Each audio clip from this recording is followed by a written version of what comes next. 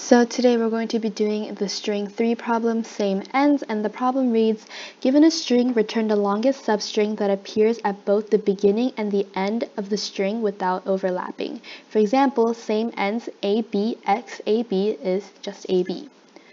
Uh, for this first example, the output is AB because this string begins with AB and ends with AB. So for this problem, we want to have a couple of variables. First, an int length, and set that to string dot length. Next, I want to have two string variables. One we will call results. This is what we'll be returning at the end of the program. And one we'll have, call it temp.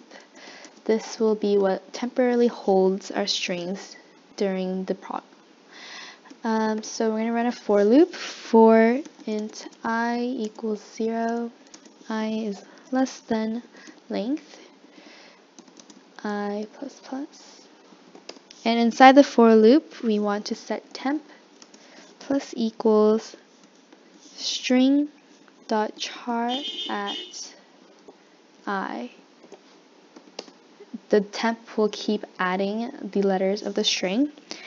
And um, we're going to make another variable, maybe call it int temp length. And that will equal temp dot length. Uh, now we want to check if i is less than length divided by 2 and temp dot equals string dot substring length minus temp length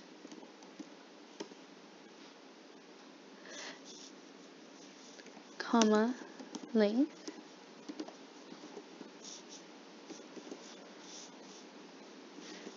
then result equals temp. And at the end of the for loop, we're going to return results.